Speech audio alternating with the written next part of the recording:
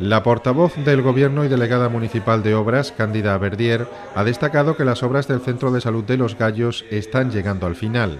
Verdier ha explicado que filtraciones en el subsuelo del centro han demorado la finalización de los trabajos.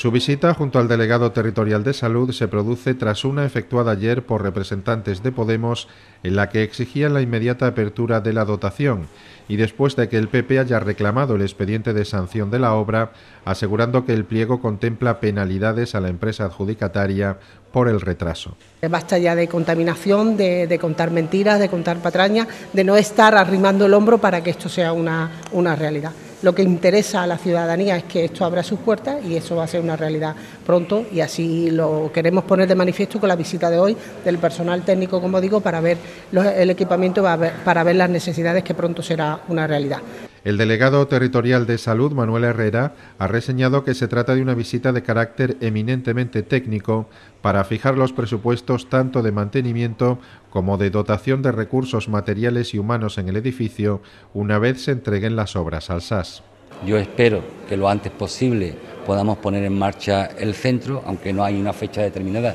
porque tiene que terminar la obra y luego los trámites burocráticos, pero sí se ve la luz al final del túnel. Yo creo que próximamente la ciudad de Chiclana y sobre todo los, pacientes, los usuarios, se van a beneficiar de estas magníficas instalaciones. Manuel Herrera, que visitó las instalaciones en compañía, entre otros, de Miguel Ballesta, director del Distrito Bahía del SAS, y de la delegada municipal de salud, María Ángeles Martínez, indicó que ya se ve la luz al final del túnel.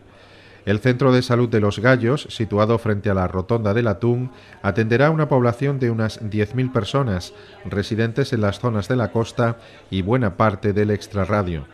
De esta forma, una parte importante de ciudadanos que actualmente acuden al centro de salud El Lugar, situado en la calle Jesús Nazareno, podrá ser atendido en las futuras instalaciones sanitarias, reduciendo así las colas en las dependencias sanitarias del centro de Chiclana.